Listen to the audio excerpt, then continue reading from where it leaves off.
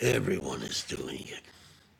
Guys are doing it with girls, and girls are doing it with other girls. Some get together in groups and do it. Some go online and do it with complete strangers. Some like deeper penetration when they do it. Some people get scared and pull out right in the middle of doing it. Sometimes when people do it for the first time, they don't last so long. Sometimes when people do it alone for too long, their hands cramp up.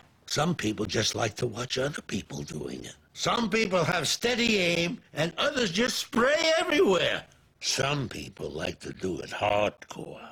Some people like to be all chatty Cathy when they do it. Sons of bitches do it so loud they keep up the neighbors. Sometimes my dog likes to watch me do it. Some people go into domination mode, and that's some freaky deaky shit. I've heard there's over 20 million people doing it now, so it's safe to say that everyone is doing it.